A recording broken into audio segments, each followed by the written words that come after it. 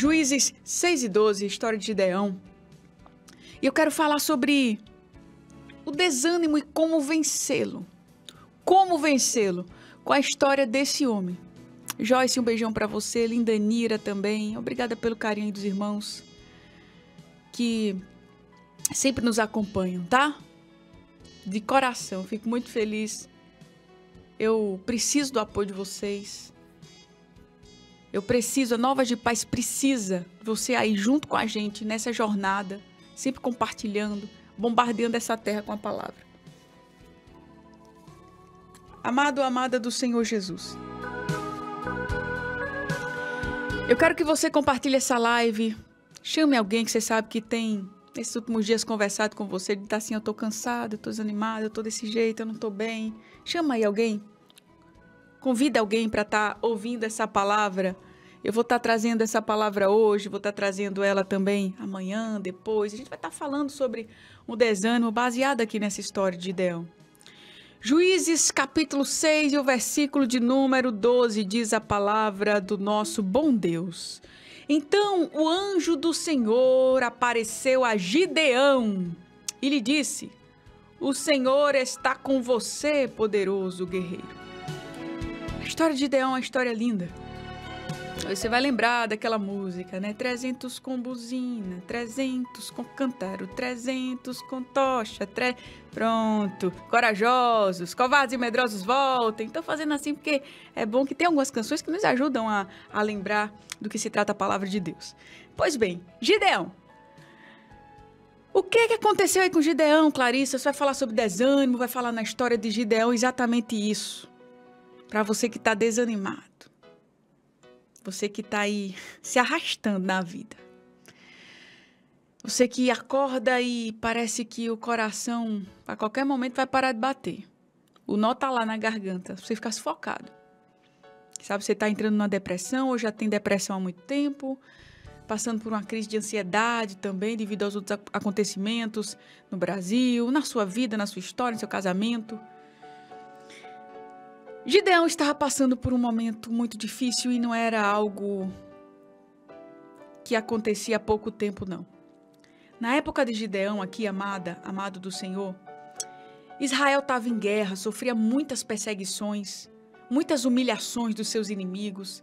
Assim, como você pode estar vivendo agora? Um momento muito difícil. E eu vejo que Gideão ele não teve coragem de enfrentar os problemas. Tá lá em Juízes, se você quiser acompanhar, é muito importante que você, nesse momento, esteja com a palavra de Deus em mão, se você puder, obviamente. Eu sei que tem muita gente atarefada, muita gente que não pode parar. E talvez você diga assim, ah, Clécia, eu não posso. Eu queria até estar com a Bíblia na mão agora, mas eu não posso porque é o meu patrão, ele, ele não deixa, porque o meu trabalho não pode parar. Tudo bem, tudo bem, vai escutando aí, eu vou lendo para você, eu faço questão de ler. Mas se você puder, você é dona de casa, você que está aí no seu no espacinho, no seu trabalho, pega a Bíblia, é importante você manusear a Bíblia, tá bom? Juízes capítulo 6, o versículo 1. O povo de Israel pecou contra Deus, o Senhor, e por isso que ele, deixou que o povo de Midian, os inimigos, os dominasse. Então veja, o povo de Israel estava pecando demais. Aí Deus agora deixa que os inimigos dominasse aquele povo durante sete anos. Eu percebo que Deus, por muitas vezes, ele permite que os inimigos eles nos oprimam. Ele, ele permite para nos dar uma lição, para nos ensinar algo, por amor, tá? Não se esquece que é por amor, não é por ódio, não é porque Deus te odeia, não. Não é porque Deus não gosta de você, não. Não é porque Deus quer te ver chorar, não. Por amor, isso é amor, amor de Deus, como um pai castiga um filho. Aí o que é que acontecia quando o povo de Israel estava sendo perseguido? Os israelitas se escondiam dos inimigos em cavernas e em outros lugares seguros nas montanhas. Por quê? Porque os inimigos eram mais fortes, diz a palavra de Deus. Todas as vezes que os israelitas, povo de Deus, semeavam, eles plantavam, os inimigos vinham lá e tomavam as plantações destruíam as suas colheitas. Não deixavam nada para os israelitas viverem, nem ao menos uma ovelha, nem uma vaca, nem um jumento. Então veja quanta opressão que Deus permitiu sobre os israelitas, sobre o seu povo. Vinha os inimigos e saqueava as suas plantações, roubava seus bois, suas vacas, ju... nem um jumentinho sobrava, meu irmão. O povo estava passando necessidade mesmo, o povo estava num estado de total miséria. Só que aí chega um momento que Deus ele intervém. E ele procura alguém para usar. Como ele usou lá Moisés, Moisés, vai lá libertar meu povo. Deus agora usa Gideão.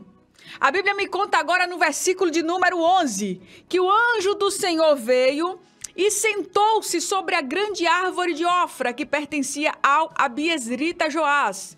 Gideão, vamos lá, agora chega na história. Gideão, filho de Joás, estava malhando um trigo num tanque de prensar uvas para escondê-lo dos midianitas. Eu vejo Gideão agora usando de uma estratégia para não ser visto pelos inimigos. Ele estava limpando o trigo, malhando o trigo num tanque de prensar uvas, escondidinho, porque o trigo ele era malhado na eira, que era um espaço arejado, um espaço grande, um espaço amplo, para que o vento passasse, soprasse ali as impurezas do trigo, né, do cereal. No momento que jogava o trigo para cima, caía, tinha todo um processo. Só que se Gideão fosse fazer isso na eira, naquele lugar amplo, arejado, grande, os inimigos iam ver Gideão fazendo aquilo, iam até Gideão e não permitiriam para que o povo permanecesse na miséria. Aí o que é que Gideão fazia? Ele ia para o tanquinho de prensar uvas, um lugar complicado de fazer aquilo, trabalhoso, e ficava lá, malhando trigo ali no lagar, no, no, no tanque de prensar uvas, para se esconder dos meninitas. Porque ali ele garantia a sua sobrevivência, a sobrevivência da sua família. Meu irmão, que situação difícil sete anos consecutivos que os midianitas, os inimigos, invadiam Israel, roubavam gado, as ovelhas, deixavam ali o povo de Deus sem sustento nenhum. E eu imagino agora Gideão de, diante de todo aquele sofrimento. Já estava cansado já. Cansado, esgotado, amado. Assim como eu, como você. Diante das lutas. Tem algumas vezes que o inimigo parece tão grande que mais fácil para a gente, mais confortável para a gente, é a gente se esconder, né? Se esconder. Porque é mais fácil, é mais confortável a gente se esconder do que a gente enfrentar o inimigo. Deixa eu falar uma coisa para você. Não é tempo de se esconder. Deus ele manda você sair do seu lugar de conforto, do seu esconderijo nessa manhã e enfrentar os inimigos. Aleluia. Sabendo que o maior está com você. Eu sei que o inimigo, ele parece ser mais numeroso e ele pode até ser matematicamente falando. O inimigo, ele é mais forte, parece ser mais forte e pode até ser quando você olha com os seus olhos materiais, aleluia, louvado seja o nome do Senhor Jesus, mas Deus está dizendo: Eu sou ânimo na tua vida. E o Senhor, com a sua palavra, na manhã de hoje, ele diz para você: O Senhor está com você, poderoso guerreiro, varão valoroso, valente guerreiro do Senhor. Ei, você é um guerreiro valente. Não pense só que valente é aquele que você olha assim e diz: Olha lá, é um valente, não tem medo de falar, não tem medo de ir. Não. O Senhor, ele vê o que você não vê em você. E eu quero meditar nessa palavra com você hoje, amanhã, depois, para no final dessa, dessa semana você olhar para você mesmo e dizer assim: eu sou valente, eu vou enfrentar, eu não terei medo de nada. O Senhor está comigo. Os midianitas não me põem medo, o diabo não me põe medo. Os inimigos terrenos aqui que ficam fazendo barulho, querendo minha cabeça, eles não me põem medo, porque o Senhor está comigo e ele diz que eu sou valente. Ele diz que eu sou valente. Deus está dizendo hoje, nessa manhã de segunda-feira, para você começar essa semana, você é um valente. Por mais que você olhe para você e diga eu sou tímida, eu sou frouxa, eu não sei falar, eu não vou, eu corro da raia, eu me escondo, eu tenho medo dos midianitas. Deus está dizendo não é nada disso que você está pensando. Não é nada disso que você está pensando e eu vou mostrar na palavra de Deus. Diante de todo aquele sofrimento que eu contei para você aqui, os inimigos sem dó e nem piedade para cima de Gideão. Ai, Deus amado. Gideão cansado. Repita comigo: cansaço. Cansaço. Cansaço e cansaço. Mas deixa eu dizer uma coisa para você. Tem uma saída. Tem uma saída. Como eu posso vencer isso, Clarice? A palavra de Deus me dá algum caminho? O que é que eu posso fazer? Olha, nós vamos orar daqui a pouquinho. Daqui a pouco nós vamos orar, nós vamos falar com Deus. São 8h54, 9 horas, 9 e pouquinho. Eu já quero orar com você, tá bom? Eu quero falar com o Senhor Jesus para ele renovar a sua força. Você crê? Você crê que Deus te renova? Você crê que Deus é renovo hoje? Você crê que Deus é renovo daqui para frente?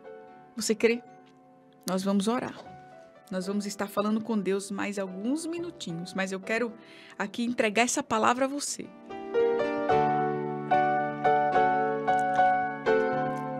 E o primeiro ponto de hoje onde Jesus fala ao nosso coração no dia de hoje. É mude a sua atitude. Mude a sua atitude. Não continue se entregando ao desânimo.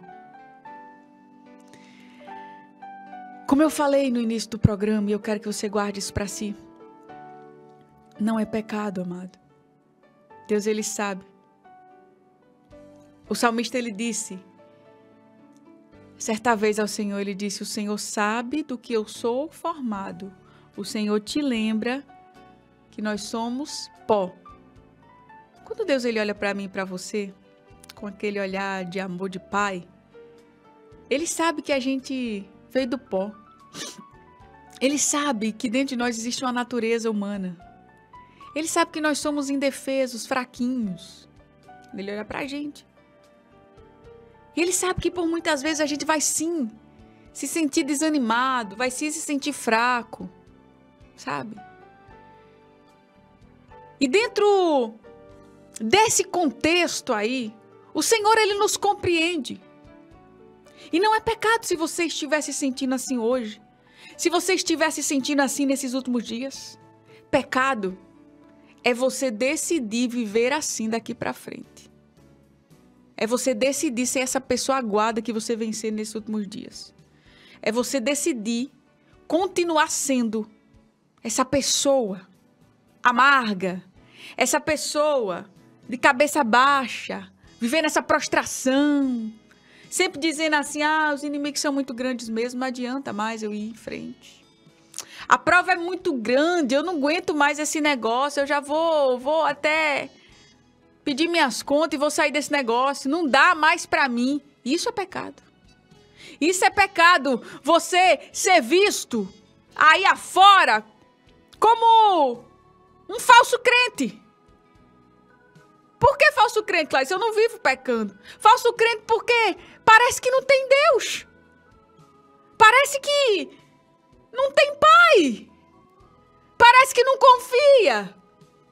E vive aí desanimado, parece que não tem um Deus que está no controle da situação. E aí vive nesse desânimo, as pessoas já estão olhando para você e estão te evitando. Porque você só conta a derrota. Porque você só vive reclamando. Essa postura, sim, é pecado. E o que eu aprendo hoje aqui na história de Gideão é que Deus, ele ordena você a mudar de atitude. Deus, ele ordena você a mudar de atitude. Recebe essa palavra aí em nome de Jesus. Está saindo uma ordem hoje para você. Mudança de atitude.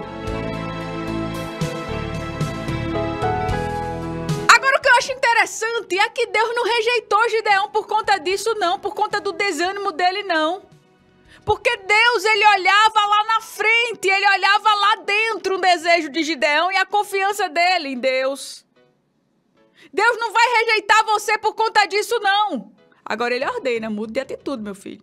Você pode estar assim até hoje, mas daqui para frente é diferente, porque sou eu quem estou falando com você, diz o Senhor nesta manhã, através das ondas sonoras da Rádio Novas de Paz. Sou eu quem estou falando com você, meu filho. Sou eu quem estou falando com você, minha filha amada. Mudança de postura. Deus queria usar Gideão aqui para derrotar os inimigos.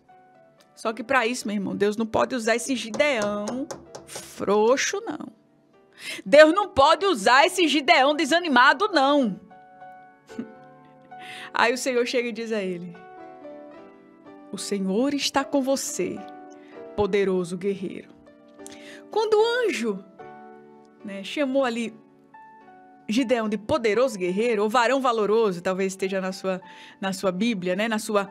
Que é a mesma coisa, na sua tradução, eu gosto mais de poderoso guerreiro, que acho negócio guerreiro, guerra, poder, né? Tudo que Gideão não era na cabeça de Gideão. Sabe que Deus está falando com você isso hoje? Eu estou falando que você é tudo que você pensa que você não é. Você pensa que você não é forte. Eu estou dizendo que você é. Isso é Deus falando com você.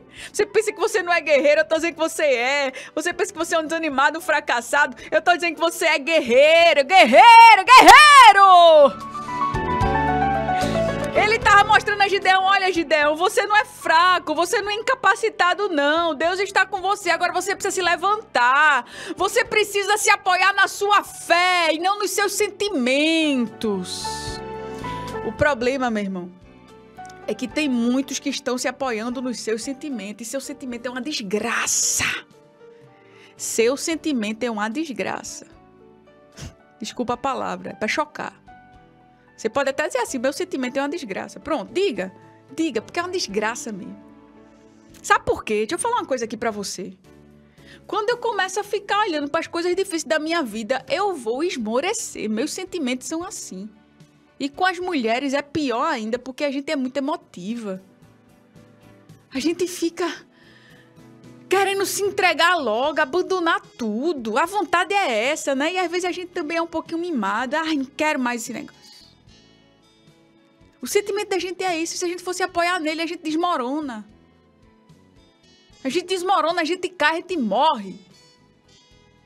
Eu preciso me apoiar, a minha fé que a minha fé seja um lugar seguro para eu estar. Porque se eu apoiar, se eu me apoiar nos meus sentimentos, eu vou ficar com medo de enfrentar a vida. Eu preciso começar a, a mortificar os meus sentimentos. A confiar mais em Deus, a ser mais duro. Deus está dizendo a você, minha irmã, seja mais dura. Seja mais dura. Pare de ficar se apoiando no que você sente. O que você sente não importa. Seja mais racional. Olhe mais pela razão. Olhe para a vida com racionalidade. E se apoie na sua fé. Não no que você pensa, no que você sente. Se você ficar se apoiando no que você sente, eu vou dizer mais uma vez, você vai morrer. Porque nosso sentimento é uma desgraça. Olha aqui, Gideão. Acabou para Gideão. Eita, eu imagino Gideão ali, malhando trigo no lagar, no tanque de prensar uvas, como eu falei, não é o lugar certo de malhar. Ele estava escondido, era uma estratégia dele para não morrer de fome. Eu imagino ele ali naquela situação difícil, agoniado. Poxa vida, que coisa horrível é malhar trigo aqui no lagar. O lugar de malhar trigo é lá, lá fora, lá tem vento para levar essa, essa, essas casquinhas aqui do cereal. Mas aqui dentro, também Deus permite a gente ficar aqui com esses inimigos, levando tudo da gente. Eu imagino a agonia de Gideão ali. Sete anos já, gente oprimido. Sete anos. E eu ficar aqui nesse lugar que não dá para malhar o trigo direito. Mas eu tenho que ficar aqui. Eu imagino que Gideão viu um barulhinho, tuf, os inimigos chegaram, é agora, descobriram que eu tô aqui escondido. Imagina ali a adrenalina, a agonia que paraiva, pairava sobre a vida de Gideão, todo dia, toda hora. O que, é que minha família vai comer hoje? Será que eu serei descoberto hoje? Aquela pressão, aquele desengano, meu Deus do céu. E eu imagino ali ele tomado os, pelos sentimentos dele. Mas foi necessário o Senhor chegar,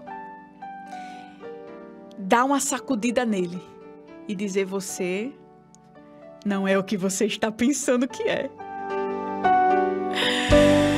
Deus chega para você nessa manhã de segunda-feira, ele aponta o dedo no seu nariz e ele diz assim: Você não é, não é quem você está pensando que você é. Você não é quem você está pensando que você é.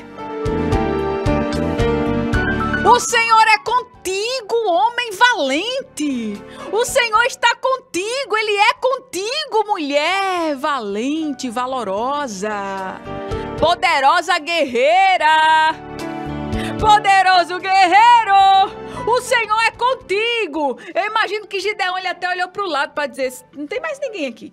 Ele está falando comigo mesmo, será? Será que ele está falando comigo mesmo? Aleluia. Aleluia. Aleluia. Deus estava dizendo assim: vamos mudar essa postura, Gideão. Vamos mudar essa postura. Minha irmã, Viviane, Joyceane, Jefferson. Vamos mudar essa postura. Clarissa, Ana Carla, vamos mudar essa postura.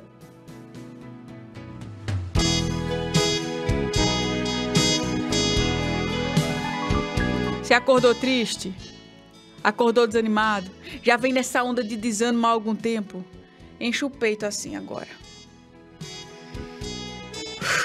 Encheu? E diga assim: Eu sou uma, uma guerreira valente. Vamos lá? Vamos fazer esse exercício nessa manhã? Enche o peito e diga assim: Eu sou uma guerreira valente. Vamos lá?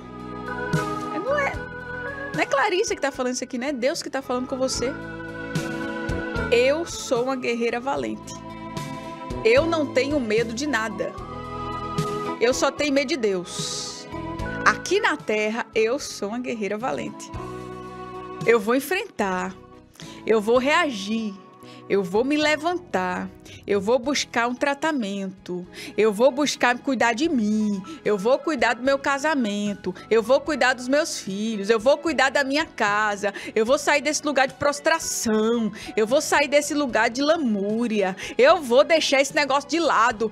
Eu sou uma valente guerreira, uma poderosa guerreira, uma valente valorosa. Eu não sei o que é a expressão que você prefere. Mas eu quero que você passe o dia dizendo isso. O diabo ficar doidinho com você. Porque ele tá feliz da vida. Deixa eu falar um negócio pra você, irmã. Ei, meu irmão, ele tá feliz da vida. Tá em festa. Ei. Sabe por quê?